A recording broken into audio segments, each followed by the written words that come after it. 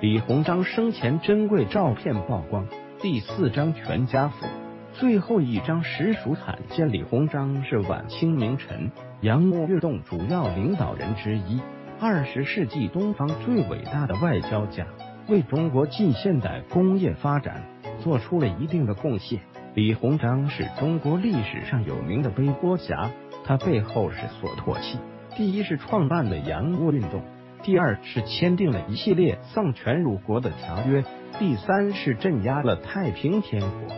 可是背后真正授权的人是谁？可想而知。图为李鸿章和外国军官的珍贵合影。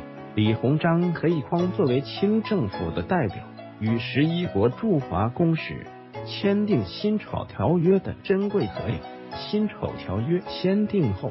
列强得到在北京的驻军权，还获得了巨额赔款，甚至加剧了列强对中国人民的剥削，使中国的殖民地化程度进一步加深。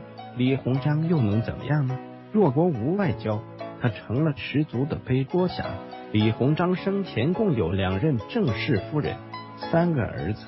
长子李经方是一位职业的外交家，四子李经树准备接李鸿章的班。三子李经迈是位理财高手，个个都是人中龙凤。图为李鸿章珍贵的全家福，李鸿章和儿孙的珍贵合影，这一刻十分的温馨。李鸿章手持蒲扇，更是显得悠闲自得。最主要的是，孙儿的颜值都挺高的。